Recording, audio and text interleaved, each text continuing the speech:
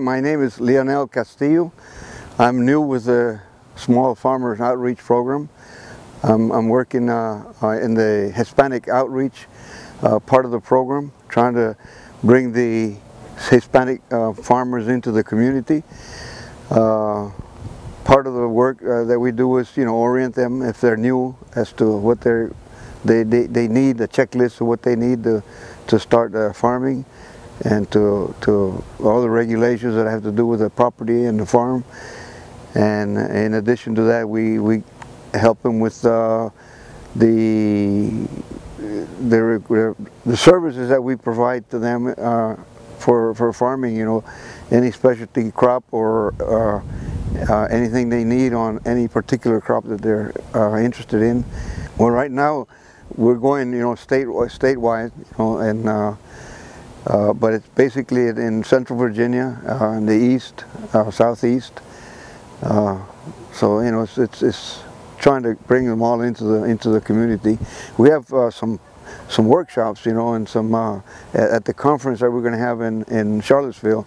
It's going to be an opportunity to to you know outreach to others that are interested, you know, and, and get involved uh, get them, you know, into the into the farming community. My background is in in in, uh, in the tropics. I, have worked uh, many years. I, I re retired in the tropics, working with USAID uh, programs. You know, uh, with small farmers through the Honduran uh, Foundation of Agricultural Research to some extent, and I also worked with Dole and Chiquita in their farming operations, you know, advising banana farmers.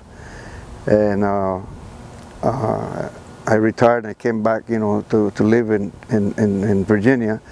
And that's how I got uh, in touch with, with uh, the, the outreach program at, uh, at VSU. And uh, I heard about the Hispanic outreach branch of the program. And due to my bilingual and farming, you know, uh, experience, uh, I was able to, to, to join the group and, and I'm very happy to be here.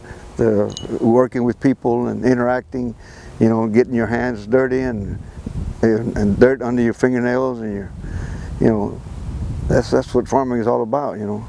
The most important thing is that uh, I've noticed the few that I've, I've talked, I've, I've spoken to, they're, they're very eager, they're very interested in, you know, jumping into it. But my advice to them is, you know, to take it, you know, step at a time, not to bite more than they can chew, you know, and, and do it right, you know, because uh, that farming is, is uh, it's not for everybody, and uh, uh, we don't want them to, to make mistakes, you know, and, and, and to pay dearly for, for, for those mistakes if they take it, you know, step at a time. Extending knowledge, changing lives.